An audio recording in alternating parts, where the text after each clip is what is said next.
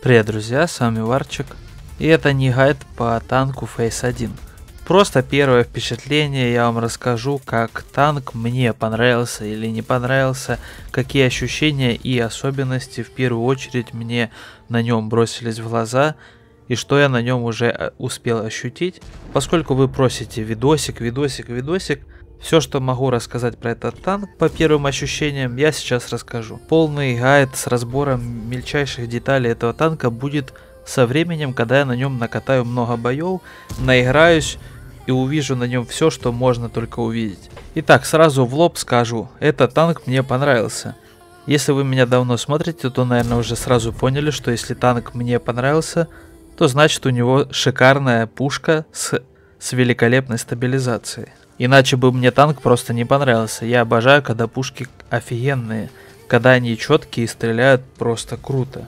Если у танка пушка дряхлая, корявая и с нее противно стрелять, мне танк не понравится, это сто процентов. У этого танка пушка великолепная. Пробитие просто космос. Тут пушка, такое ощущение, что просто взяли с десятки, воткнули в девятку, все, баланс танка завершен. Еще самое что интересное, что скорость полета снаряда одинаковая у всех типов снаряда этой пушки. У ББшки, у кумулятива и у ФУАСа скорость полета снаряда 1000 с хвостиком. Что-то типа там 1068. Может быть я чуть-чуть промазал на пару циферок, но это не важно. А это означает, что любым снарядом нужно брать одинаковое упреждение. Такое я раньше видел только на старых танках. И я думал, что это Просто разрабам было лень забалансить разные циферки скорости полета снаряда. Но здесь это даже можно подумать плюс, не нужно выбирать разное упреждение. Что касаемо пробития, не люблю все эти циферки рассказывать во всяких вот этих вот обзольтиках и так далее. Обычно я делаю так. Смотрю на пушки, на циферки один раз. И для себя в голове откладываю. Если пробитие среднее по уровню, на котором находится танк, то я считаю, типа, ну, нормальное пробитие. Если же оно куда-то отклоняется, то я запоминаю, что пробитие либо плохое, либо хорошее. Вот у этого танка выше среднего пробития на девятом уровне. 258 ББшкой, 340 умулем. Что вы таким пробитием не пробьете? Какой танк обладает такой броней, которую вы не пробьете? Его просто нету в рандоме. Что касаемо точности. 0.38 точность, сведение 2.5. Это на циферках. Казалось бы, ой, 0.38, куда я там попаду? Да никуда я там не попаду. Это же вообще, это чуть ли не фугасница. А если еще посмотреть каких-нибудь водомесиков, которые говорят, ой, что-то пустить как левая. Я как начну этих дебилов смотреть, это просто... Меня хватает раз в полгода посмотреть видосик какого-нибудь водомеса, это просто рука-лицо. Сажусь за баранку этого танка, захожу в первый же бой, Сведение настолько отличное, что я еду просто на ходу всегда сведенный. Такая малюсенькая дырочка у прицела, когда ты играешь на этом танке, даже когда ты ездишь.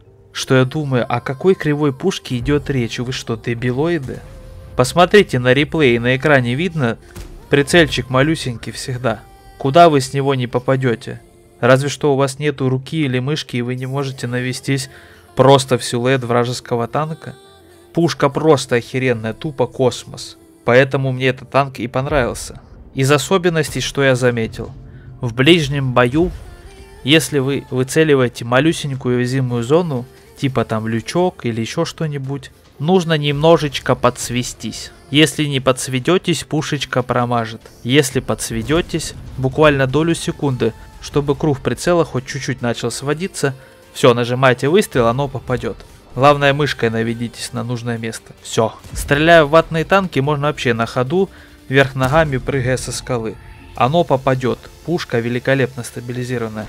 Это самое главное, на мой взгляд, что в танке должно быть. Это охеренная и удобная пушка. Она здесь есть. Дальше. Что хочется сказать про этот танк. У него есть броня лобовая. Это башенный танк, который должен играть от башни. Да, у него не 100% танкует лючок. Он и не должен танковать, это лючок. Да, у него лоб башни с уязвимой зоной в зоне фонаря. Но она не 100% пробивается. С пробитием 250 один из трех выстрелов вы будете пробивать, если попадете туда. Там буквально несколько пикселей, которые пробиваются в зоне фонаря. Если у вас будет пробитие там голдой 300 с чем-то, Ну да, будете чаще туда пробивать, если попадете.